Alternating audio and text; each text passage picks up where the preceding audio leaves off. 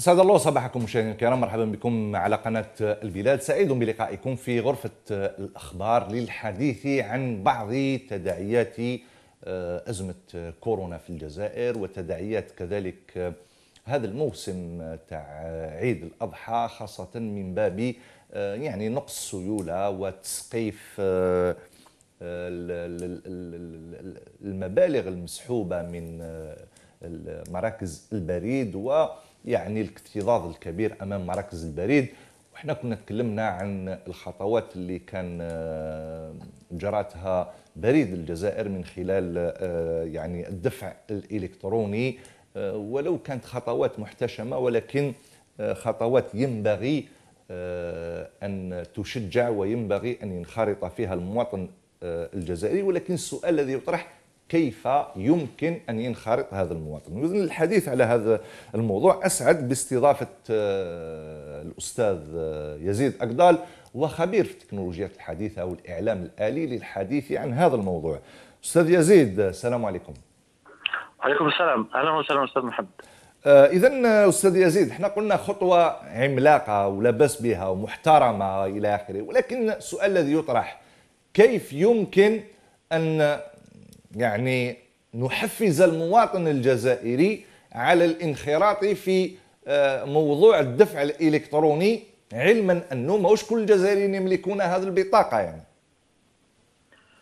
آه، يعني أنا أظن انه هناك عدة خطوات يجب على آه، بريد الجزائر أو على السلطات القائمة حول موضوع الدفع الإلكتروني في الجزائر القيام بها. نحن نتكلم عن بريد الجزائر لأنه المؤسسة التي تسير أرصدة أغلب الجزائريين المالية وهي المؤسسة الأكثر آه، يعني المعنية أكثر بالأمر خصوصا في في المواسم التي يكثر فيها الضغط على السيولة. أظن أن المسألة الأساسية للدفع الإلكتروني هي مسألة الثقة، أي يجب على المواطن أن يثق في بطاقته الذهبية أو البطاقة البنكية بصفة عامة كما يثق في الكاش في النقد. أظن أن أنه للوصول إلى هذه الثقة يجب العمل على عدة محاور، المحور الأول هو محور الاتصال والإعلام، أي يجب على أساس بريد الجزائر أن يوصل المعلومة للمواطن الجزائري العادي، ليس بالضرورة المواطن المتمكن من التقنية، يعني أي مواطن يمتلك البطاقة الذهبية يجب أن يعرف الخدمات التي تقدمها البطاقة وما هي الخدمات التي يستطيع دفعها بهذه البطاقة. يعني يجب العمل على الاتصال عبر القنوات التلفزيونية عبر الصحافة وعبر وسائل التواصل الاجتماعي التي تتيح إمكانية أكبر للوصول إلى أكبر عدد من الناس. طيب يزيد سامحني قبل ما نمشي نعم أستاذ محمد آه، يزيد سامحني قبل ما نمشي للخطوة الثانية والخطوه الخطوات المقبلة وش نقدر ندير أنا بالبطاقة اليوم في الجزائر؟ هل تقدر تقول للجزائريين ماذا يستطيعون أن يفعلوا بهذه البطاقة؟ أنا أتكلم عن الذي يمتلكها الذي يعني يسجل وكذا ووصلته للدار لأنه كاين عدد كبير من الجزائريين لم تصلهم إلى البيت ويعني لا لا يمتلكونها. نعم. هو هو ما يجب معرفته هو أن البطاقة الذهبية هي هي بطاقة دفع وسحب. أي نستطيع من خلالها سحب النقود سحب النقود نستطيع القيام به إما بالموزعات الأوتوماتيكية لبريد الجزائر الموجودة في مكاتب البريد. كما يجب هذا يجب أن يعلم يعلمه المواطنون كما نستطيع سحب النقود من خلال الموزعات الآلية الموجودة في جميع البنوك. آه، حوالي عندها ست بين بريد الجزائر ومؤسسة ساتيم لتقبل بطاقات الدفع البطاقه البطاقة الذهبية في الموزعات الآلية للبنوك. وهذه معلومة مهمة لتخفيف الضغط على الموزعات الأوتوماتيكية لمكاتب البريد. يعني أي بنك أستطيع استعمال البطاقة الذهبية لسحب النقود الفرق الوحيد هو الرسم. يعني هناك خمس دنانير أظن إضافية آه، بالمقارنة مع السحب من الموزعات الآلية لبريد الجزائر. هذا أولا. نتكلم عن سحب النقود. المهم أيضا هو قضية الدفع أي أستطيع أن أدفع آه، الخدمات باستعمال البطاقة عوض استعمال النقد. مثلا جميع الفواتير فواتير الهاتف الماء اتصالات الجزائر الإنترنت وهناك حتى العديد من الخدمات بعض الشركات التي أستطيع دفعها عن طريق الإنترنت باستعمال البطاقة الذهبية. هناك أيضا خدمة الدفع عن طريق آه، أجهزة الدفع التي تسمى TPE يعني terminal de paiement الموجودة في المحلات التجارية الكبرى وبعض المحلات التي توفر هذه الخدمة أي أستطيع في محل مزود بجهاز آه، دفع آه، آلي TPE أن أدفع مثلا أشتري سلع أو أشتري أو أشتري جهاز معين أن أدفع ثمنه من خلال البطاقة الذهبية. آه، هناك أيضا خدمات أخرى مرتبطة بتطبيق آه، على الهاتف النقالي يسمى بيريدي موب. هذا التطبيق يسمح بالاتصال بالاطلاع على الرصيد كما يسمح أيضا بخدمة تحويل الأموال من حساب آه، بريدي إلى حساب آخر. أي من خلال هاتفك النقال دون التنقل أستطيع القيام بعمليه مالية من حساب إلى آخر. طيب أظن أن كما تكلمت في الأول عن الاتصال يجب العمل على إيصال هذه المعلومات للمواطن البسيط حتى يستطيع استخدامها في مختلف الخدمات التي يحتاجها طيب أستاذ يزيد الآن منذ قليل أنت تكلمت عن الثقة. فرضا أنه الثقة انتهت يعني لاباس كل الجزائريين أصبحوا يثقون في البطاقة الذهبية والبطاقات الأخرى ويقوموا بعملية السحب وعندهم إرادة للقيام بعملية السحب والدفع الإلكتروني إلى آخره. الآن هناك حديث على قضية الرسوم. هناك من يرى أن الرسوم مرتفعة جدا أو مرتفعة نسبيا وهناك من يدعو إلى إلغاء هذه الرسوم. يعني إلغائها لكن السؤال الذي يطرح من أين يمكن الاستفادة من آه، العملية الربحية لهذه الخدمات. هو هو الأكيد أنه الرسوم آه، الرسوم المتعلقة بالعمليات على الحساب البريدي الجاري أظن أن الرسوم تبقى نفسها إما استعملنا الرسوم الطريقة العادية الكلاسيكية أو الدفع الإلكتروني. ولكن وما يجب معرفته أنه لما ندفع ثمن سلعة أو خدمة بالبطاقة الذهبية لا توجد رسوم إضافية يعني ندفع نقدا أو بالبطاقه الذهبية لا يوجد آه، فرق. بالعكس هناك خدمات مثلا لما تدفع فاتورة آه لمثلا لشركة سونلغاز بالبطاقة الذهبية حق الطابع le droit timbre يكون معفيا من الدفع أي تربح بعض الدنانير آه، المتعلقة بحقوق الطابع آه، بالمقابل أرى أنه يجب لتحفيز استعمال الدفع الإلكتروني أرى أنه يجب أن تتخذ خطوات لتحفيز المواطنين أو لدفعهم لاستعمال البطاقة الذهبية بدل النقد أو البطاقة البنكية بصفة عامة وذلك باتخاذ خطوات مثلا لتخفيض بعض الرسوم أو إعطاء تحفيزات على الخدمة حتى نشجع المواطنين للاتجاه لهذا النوع من الدفع لأنه حل مشكلة النقد والسيولة هي بالضرورة. سيحل مشكلة السيولة وكل التكاليف المرتبطة بتوفير السيولة بمقادير كبيرة لكل أنحاء الوطن. هناك تكاليف كبيرة ربما لا تظهر ولكن تسيير كل هذه السيولة في بلد مثل الجزائر يكلف كثيرا. هناك أيضا أمر بديهي وأنه تسيير المنصات الأوتوماتيكية أو الإلكترونية المرتبطة بالدفع الإلكتروني. تستلزم أيضا تكاليف لتسييرها وتكنولوجيات معينة وبالتالي من الطبيعي أنه تكون هناك بعض الرسوم لتغطية هذه التكاليف، يعني هذا أمر طبيعي ويحدث في جميع البلدان. ولكن عند الخواص أستاذ يزيد أنت تكلمت على يعني آه، يعني les grandes surfaces مثلا أو حتى محلات صغيرة. هناك اللي عنده آه، يعني آلية الدفع جهاز الدفع الإلكتروني. لا توجد رسوم بمعنى أنه شريت أنا ب 1000 دينار جزائري أدفع 1000 دينار جزائري لا غير. بالضبط. لا توجد أي رسوم اضافيه عند الدفع بالعكس للتاجر يحصل على جهاز الدفع بطريقة مجانية من عند من عند بريد الجزائر والزبون بالنسبة له الجانب الإيجابي أنه يستطيع لا ليس مضطرا لحمل النقود معه في كل مرة يجب أن يذهب إلى إلى محل. وهنا عندما يأتي التعميم لأجهزة الدفع يكون هذا محفزا أيضا حتى للاستهلاك يعني حتى معدل الاستهلاك سيزيد وسيحفز الاقتصاد. للعلم هناك قانون يحدد إجبارية حصول أو توفير المحلات التجارية للدفع. هناك أظن تاريخ أقصى محدد كآخر أجل لأن يمتثل التجار لهذه الإجبارية ولكن يجب العلم أن هناك قانون يجبر التجار كل التجار كل المساحات الكبرى وكل أنواع التجارات التجارة أن توفر جهاز دفع إلكتروني للزبائن يعني حق من حق المواطن الذي يملك بطاقة بنكية أو البطاقة الذهبية ولا يملك نقود أن يشتري من أي محل باستعمال الدفع الإلكتروني. قلت. آه، آه، أستاذ يزيد قلت بأن هناك أجل أقصى آه، راح تجبر فيه المحلات على استعمال هذه الآلية؟ بالضبط بالضبط. لست متأكدا من التاريخ. أظن إما نهاية 2020 أو نهاية 2021 ولكن هناك تاريخ قانون. قانون صدر بإجبارية هذه آه، يعني إجبارية الحصول على جهاز الدفع داخل المحلات التجارية.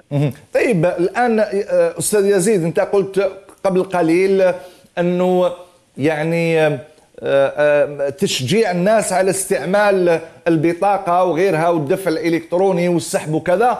وكنت استعملت عبارة التحفيز وقلت الآن بأن هناك أجل أقصى آه، للمحلات التجارية. ألا ترى أنه ينبغي كذلك للسلطات أن تعتمد سياسة الإجبار الناعم بينها مثلا آه، مثال على سبيل المثال قال آه، أجل محدد ينتهي العمل بالصك البريدي مثلا في الجزائر على سبيل المثال. هو هو أكيد ال ال لما نترك الأمر في في يد المواطنين أو التجار الأكيد أننا سنحتاج وقتا طويلا حتى نصل إلى المبتغى، الاكيد أنه يجب أن حتى نصل إلى السرعة القصوى. هناك التحفيز من جهة وهناك القانون. يعني يجب حتى ممكن حتى ممكن خدمات نجعل الدفع دفعها حصريا بالبطاقات البطاقة الذهبية والبطاقه البنكية. يعني نأخذ مثال هناك خدمات عديدة آه، حكومية أصبح الدخول آه، أو تأديتها عبر الإنترنت مثلا آه، بخصوص السكن لاديال أو خدمات أخرى.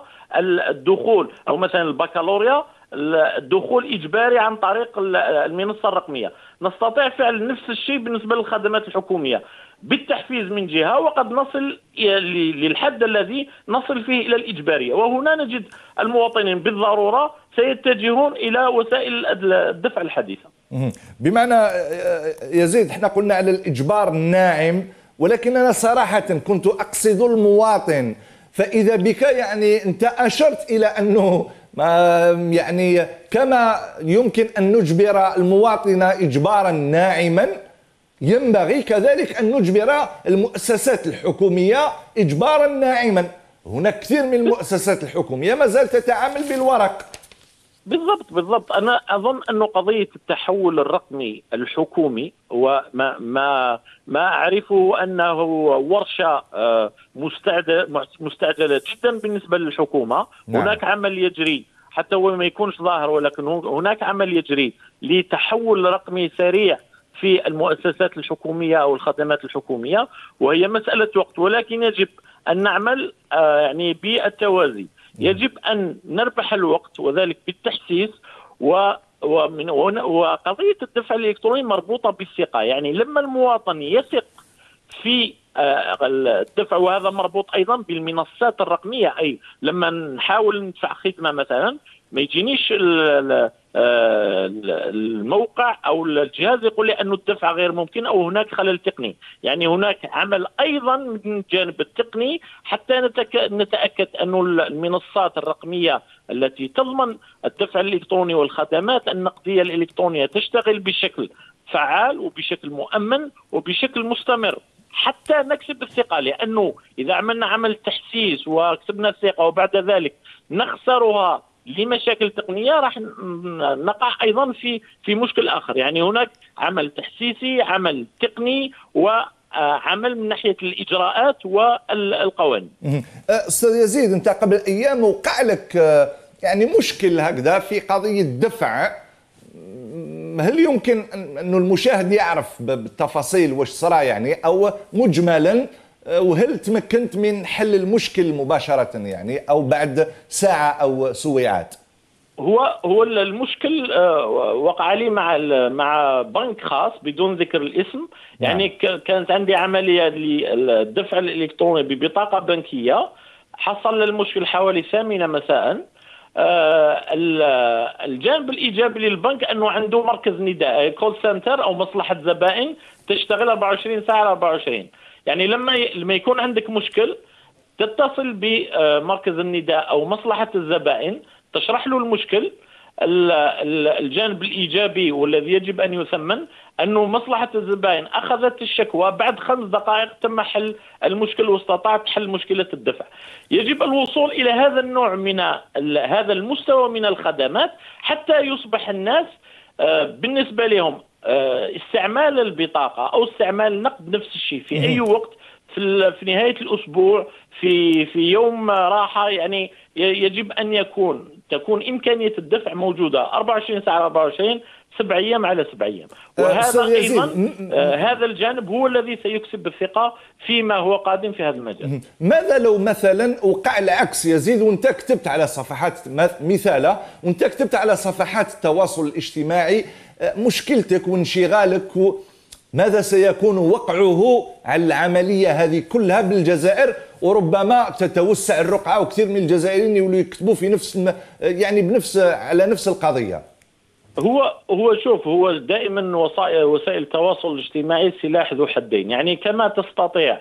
مثلا لما تكون تقدم خدمات مميزة تكون هذه الوسائل تخدم الشركة أو تخدم الخدمة كما تستطيع أن تكون الأداة بالعكس يعني تهدم الخدمة وتهدم كل الجهود التي آه التي يعني عملت عليها منذ مدة. وبالتالي فالآن قضيه خدمة الزبائن أو سمعة الشركة لدى الزبائن تغيرت جذريا لأنه الزبون في أي لحظة ما يكونش راضي عن الخدمة يستطيع أن يعبر عن عدم رضاه ويستطيع أن يشتكي بالشركة ويستطيع أن يسيء إلى سمعة الشركة. هو في الحقيقة حقه لما تكون الخدمة غير آه، مناسبة أو ليست بالكفاءة المطلوبة. وبالتالي هنا على كل الشركات وحتى حتى المؤسسات الحكومية أن تعلم أن ثقة المواطن وثقة الزبون في خدماتها الآن أصبحت كسبها أصبح أكثر صعوبة وأي خطأ قد يكلفها غاليا لأنه وسائل التواصل الاجتماعي راح تلعب دور سلبي في صورة المؤسسة أو أو نعم. الخدمة الحكومية. يزيد سؤال أخير إذا كنت كرمت هل يمكن أن نعرف ما ولو بالتقريبه كم نخسر في الجزائر من أموال جراء هذا التخلف هذا في الرقمنة في يعني التقاعس في آه، تجسيد هذا يعني الحد الأدنى الضروري من الخدمات الإلكترونية في الجزائر. كم نخسر؟ شوف هنا هي تقدير التقدير المالي صعب ولكن هناك تقدير سهل وهو الخسارة في الوقت. يعني تخيل نخسر آلاف أو عشرات الآلاف من الساعات من وقت المواطنين ومرات وقت الموظفين لأداء الخدمات. يعني كل هذه الساعات كان قادرة كنا قادرين نأديوها في في أمور أخرى وحتى جانب التجارة أو النمو أو الاستهلاك. كل ما كانت الخدمات الآلية النقدية متوفرة كل ما سهلنا مثلا التجارة الإلكترونية سهلنا كل ما هو متعلق بالاستهلاك وبالتالي ستنشط التجارة وسيتنشط الاقتصاد. وحتى من ناحية الجيل الجيل الجديد جيل مرقما يعني الجيل الجديد جيل مهيأ للتعامل مع كل ما هو آلي وكل ما هو مرتبط بمنصات بالإنترنت. وبالتالي نحن الآن أمام تحدي كبير أنه يجب أن نساير تطور المجتمع. المجتمع يتطور من ناحية الثقافة من ناحية استعمال التقنية يجب على الإدارة على الخدمات الحكومية على الاقتصاد وكل ما هو متعلق بحياة المواطنين أن يساير هذا التغير المجتمعي نعم. هناك تحول ثقافي يجب أن يسايره تحول رقمي في الاقتصاد وفي الذهنيات لأنه كل ما سهلنا العملية راح نربح في كل هذه الأوراق وكل هذه الإجراءات البيروقراطية هو في الأخير راح نربح وقت وراح نربح حتى الثقة تاع المواطن في الحكومة وفي الخدمات بصفة عامة وبالتالي راح نعم. نصل إلى مستوى بحيث المواطن يركز على المشاكل الحقيقية ولا نركز ولا نخسر الوقت في مشاكل مفتعلة ومرتبطة ببيروقراطيه نستطيع القضاء عليها بمجرد أن نساير أو نمشي بخطى سريعه في آه، في التحول الرقمي، لا نقول نعم. أنه لا توجد جهود ولكن يجب التحول سريعا ويجب القضاء على كل العراقيل التي آه، تحول دون التقدم في هذا المجال. نعم. هنا فقط هناك ملاحظة يزيد فقط في عجالة في عجالة الذهبية بالنسبة للبطاقة الذهبية يجب على بريد الجزائر أنه يشتغل أكثر من حيث إيصال البطاقة في وقتها للمواطنين، لا معنى أن أمارس التحسيس والتحفيز إذا كانت البطاقة لا تصل المواطن في الوقت المناسب أو لما تنتهي مدة صلاحيتها لا يستطيع تجديدها، هنا يجب فعل يجب القيام بمجهود أكبر في نعم. هذا المجال. بارك الله فيك أستاذ يزيد وأنا من جهتي أعدك لمسايرة الجيل الجديد. أشكرك نعم. أشكرك جزيل الشكر لأنه إحنا من الجيل القديم يعني في الحقيقة جيل الأوراق والقلم و...